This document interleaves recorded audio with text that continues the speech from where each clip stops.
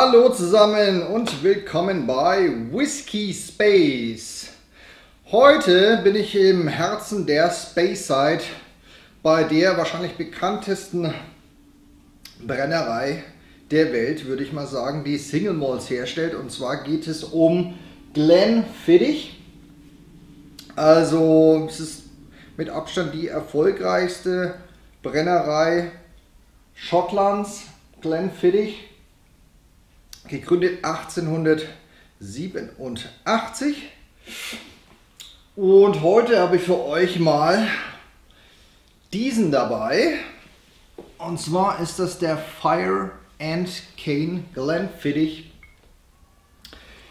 Ein Ex-Bourbon Whisky mit einem Finish in Rumfässern, der leicht rauchig ist. Ich bin echt gespannt. Glenfiddich gehört ja William Grant Sons, also ist eine der wenigen, die noch wirklich in Gründerhand sind, sage ich mal. Balveni, die Brennerei, die gehört auch zu Glenfiddich. Und ja, also den 12er, den kennt glaube ich jeder, Glenfiddich 12, das ist so der Einsteig Single Malt Droge, würde ich jetzt mal sagen. Da bleibt man dann oft vielleicht hängen beim Single Malt Whisky, wenn man mal den Glenfiddich 12 hatte. Ich weiß gar nicht, bei mir ist das schon ewig her, dass ich den mal im Glas hatte, den 12er.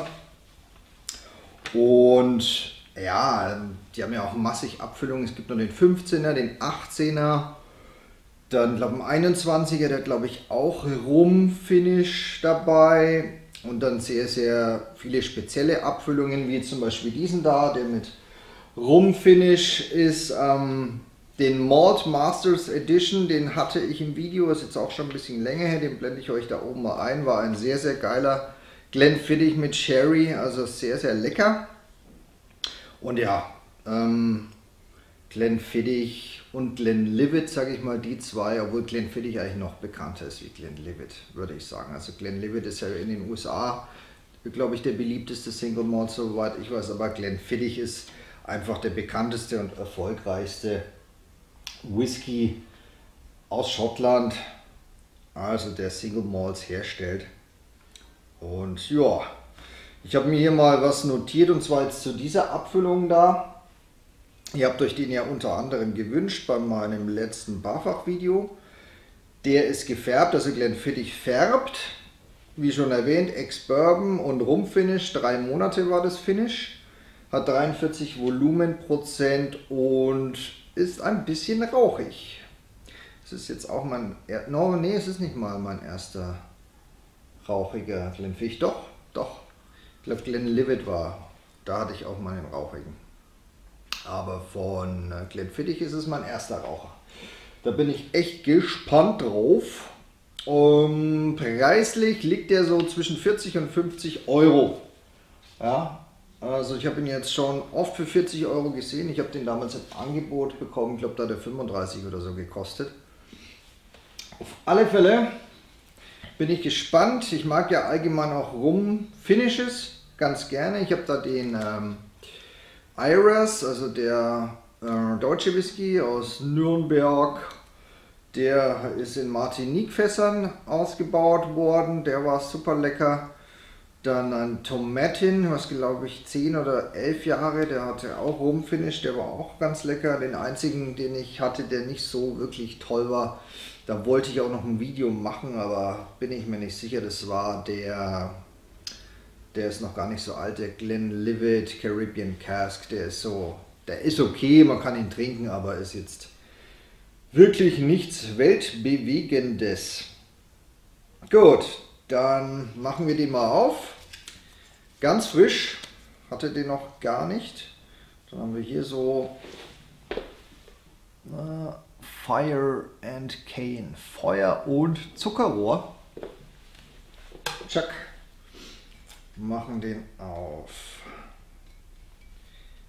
So. Komm her. Ich glaube, jeder, der letzte Glenfiddich. Das war, glaube ich, der Malt Masters Edition. Der ist echt schon ein paar Monate her, dass ich den hatte. Aber der war auch echt super. Könnt ihr echt mal auch das Video anschauen. Kann ich euch auch empfehlen. Ich weiß nicht, die haben jetzt auch ihre Verpackungen und die Flaschen, ähm, also das Design ein bisschen verändert. Ich weiß nicht, ob die neue Variante von dem Malt Masters Edition jetzt ähm, viel anders ist zur alten. Ich hatte noch die alte, aber könnt ihr mir mal reinschreiben, ob ihr da Erfahrungen habt, was die Malt Masters Edition angeht. Ob da die neue Variante besser oder schlechter oder was auch immer ist, wie die alte eben. Gut, machen wir ihn auf. Fresh and funky. Blab. Also riecht schon mal spannend. So. Okay. Korken ist auch wirklich schön, schön dick Holz. Da sieht man den Hirsch drauf. Das typische Markenzeichen von Glenfiddich. So, genug geschwafelt über Glenfiddich. Jetzt schauen wir doch mal, was der so kann. Ob der sich lohnt oder nicht. Farbe ähm, ja, so ein Goldton, aber wie gesagt gefärbt, also ist jetzt dann eigentlich nicht so relevant. Na gut, halten wir mal die Nase rein. Rauch habe ich gleich da, aber schöner süßer Rauch. Vanille habe ich.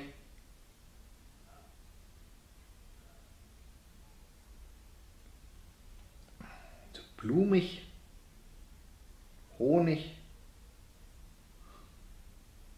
Wie alt der Kollege hier ist, keine Ahnung, da habe ich nichts gefunden. Also keine Ahnung. Also der Geruch ist schon mal sehr, sehr schön, sehr gefällig, leichter Rauch, Süße, Vanille, Honig. So eine Litchi vielleicht. Leicht dezent kommen schon diese Rumaromen durch. Was habe ich denn hier noch?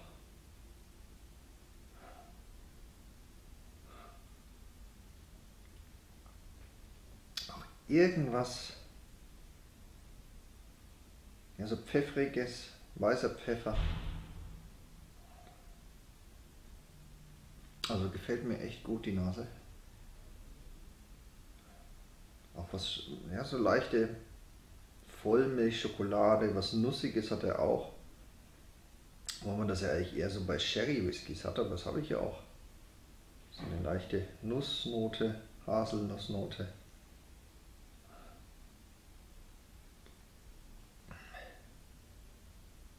Also für Raucheinsteiger ist der perfekt. Also ein Aroma sehr, sehr angenehmer, dezenter Rauch. Also der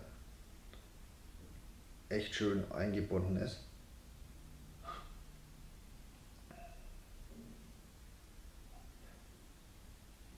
Hm. Wie gesagt, ich habe die Litchi, also diese tropischen Früchte, die ich sonst immer bei Rum habe. Vielleicht noch so eine Honigmelone, ja. würde ich sagen. Aber schön gefällig, also gefällt mir echt gut. Dann probieren wir den mal. Slangeva.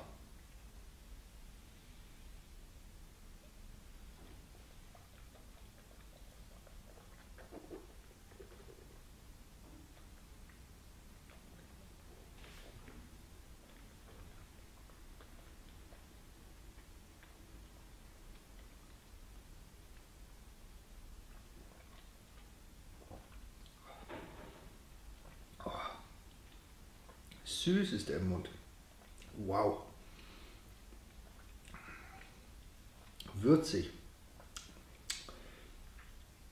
Im Runterschlucken kommt der Rauch um einiges stärker wie in der Nase. Ja, so ein aschiger Rauch. Würze, Pfeffer.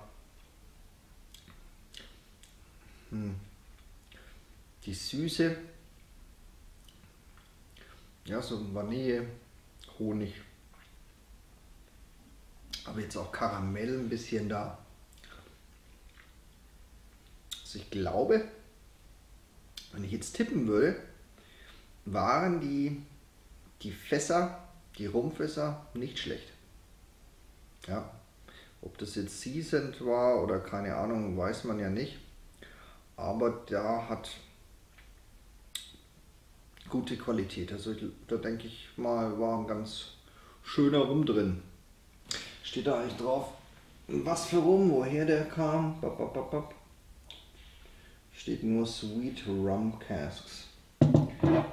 Aber woher? Winning Grand and Sons. Da, da, da, Steht nicht da. Aber ich kann jetzt schon mal sagen, schmeckt echt lecker. Schöne Süße, schöner Rauch, schöne Würze dabei, ein schönes, ja, schöne Kombination aus allem. Echt nice, wirklich nice. Hätte ich jetzt vorher nicht so erwartet. Auch die 43 Volumenprozent, Prozent, die, die reichen ihm wirklich. Also passt absolut.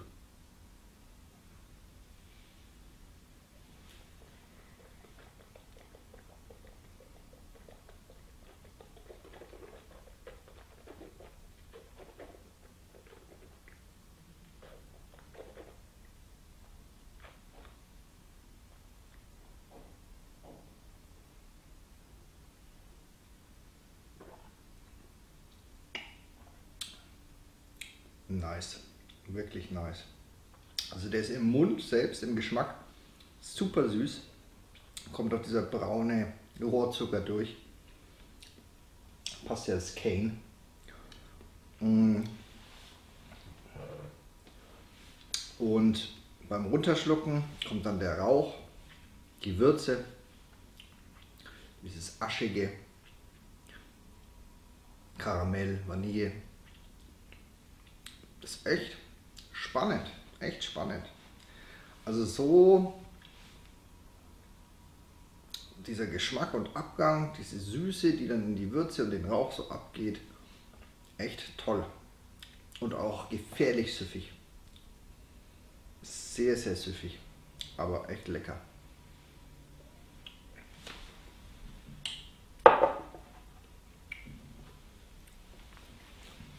Jo, was soll ich dazu sagen? Absolute Kaufempfehlung von mir. Wie gesagt, 40 bis 50 Euro. Fazit, Benotung. Ähm, dem gebe ich eine 89, eine 2 Plus. Ist echt schön. Jetzt am Ende habe ich noch so eine Bitterkeit, so eine leichte, aber die stört gar nicht. Die, ist, die passt schön so in den Abgang. Auch der Abgang relativ lang auf jeden Fall. 89, 2 Plus für den Glenfiddich Fire and Cane. Schönes Teil. Und wenn ihr den für 40 Euro bekommt, absolut, absolut cool. Kauft den euch. Also sehr, sehr, sehr, sehr schön. Also Färbung hin oder her, ne? aber das weiß man ja bei Glenfiddich. Auf den Geschmack kommt es ja am Ende an. Ne? Ja, das war's wieder. Hoffe, ihr hattet Spaß. Mir hat es mal wieder riesig Spaß gemacht, den mit euch zu verkosten. Abonniert doch meinen Kanal hier links auf den Whiskey Space Button drücken, damit ihr auch in Zukunft nichts mehr verpasst. Und dann freue ich mich schon aufs nächste Mal mit euch hier bei Whiskey Space. Macht's gut. Bis dann. Ciao, ciao.